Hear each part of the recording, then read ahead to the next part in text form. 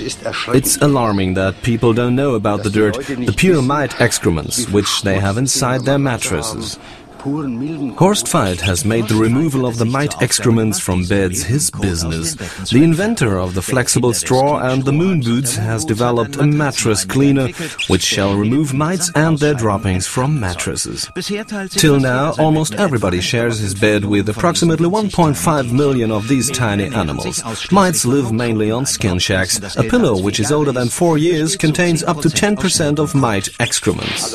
Hello, I'm the mite hunter. May I come in? Of course, just come to my bedroom. The design student, Dimitrios Krause, thinks to be a cleanly person and is convinced that mites could not be found inside his mattress. I think mites will mostly be found at homes of messy people. I mean people who take home everything, even garbage, or people who don't have a cleaning lady or don't clean at all. I think that's the reason why people have mites at home and inside their beds. If someone has a cleaning lady or other staff who does the cleaning, then there will be no problem. I think, I guess mites only live in dirty houses.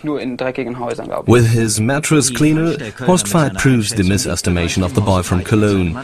With its high-frequency vibration, the mattress cleaning system solves the dirt particles from the inside of the mattress.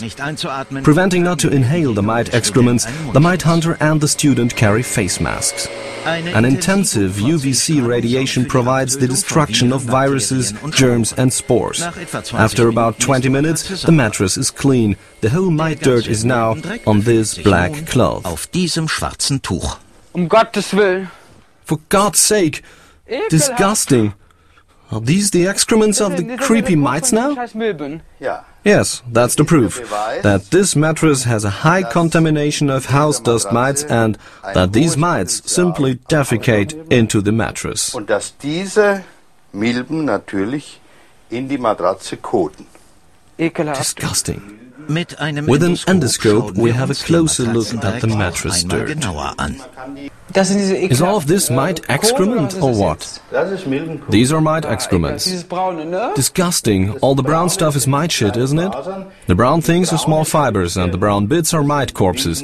And all the other particles which look white are pure mite excrements. Pure? Ja. Dann scheißen The shit is white? Uh-huh. Disgusting. Now, after this test here, I know that I will have the bed be cleaned every year, otherwise I cannot sleep in this bed anymore. I could